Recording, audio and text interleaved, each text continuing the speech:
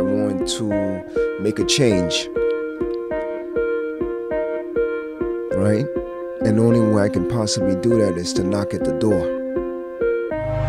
by putting my voice out there, my idea of what life coaching is. Right? It's an action. It's a call to action. Right? So anyone that's willing to hear, listen, or want to be called to action.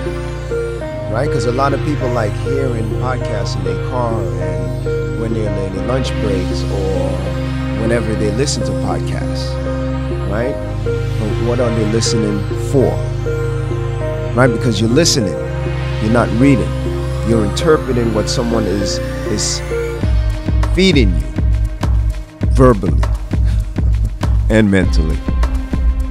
Right? So ha- there have to be something that's captivating you to be a, a participant in that audience. Right? Okay, so here you are on stage, right? And I'm calling everyone that's listening to me, all one of you, million. Um, you're on stage individually, right? And you're the only performer. And you're on stage right now, whatever your, your bag of tricks is.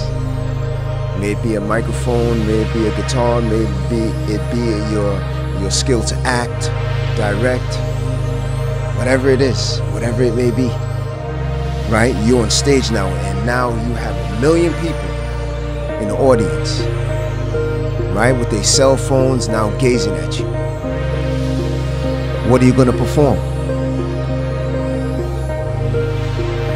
Right? And running off the stage is not an option. What are you going to perform? A lot of people would freeze. I think a high percentile in the 90s, right? Let's say 99.999999 people percent of the world population would freeze at that moment. And you have to understand why. They do not know themselves.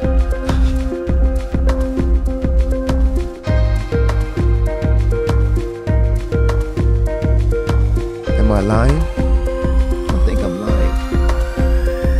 You are not comfortable in your own skin, in your own body before a million eyes and cameras.